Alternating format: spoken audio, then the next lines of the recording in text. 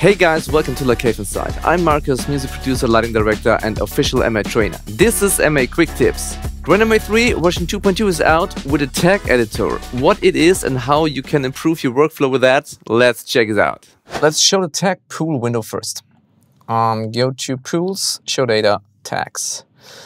And for this example, I would like to create a color picker, but sometimes you can't add all the values into the sequences so the off when overwritten function won't work. For example, I have the profiles only in red. Let's store it over here. And I have my profiles and washes in green. Let's store it over here and in blue, in magenta, and only the washes in this color here. So when I now click this sequence, and click this sequence, this is still going off because there are all the same values stored in. But not here because we are still missing our wash lights. This will work, this will work, and this won't work. But what is if I'm using tags to control this behavior in a better way? For this, I'm going to, uh, let's say, edit settings. For this, I'm going to do the off when overwritten function off. So this option is still now turned off for all my sequences. It's not working again. Let's off them. And let's use tags for this. So I'm going to have a tag called color picker row 1. And I'm going to apply this tag to all of my sequences. So sequence 7 through 11. 7, 11, that's cool.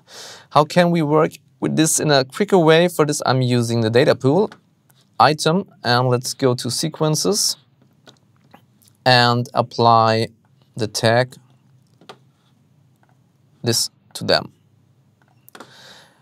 Now I can set this tag that it should switch off the sequences if I want them to. So let's have a tag type like kill delayed. And that means it will wait until the loaded sequence is fully loaded until the other sequences will be turned off. So if I click here or there or there, you can see I have now like a drum machine that we have a chop group and this is kind of the same which we're using here. And if I'm going to use fade times for all of them, so let's say um, time 1, Q1, sequence 7 through 11.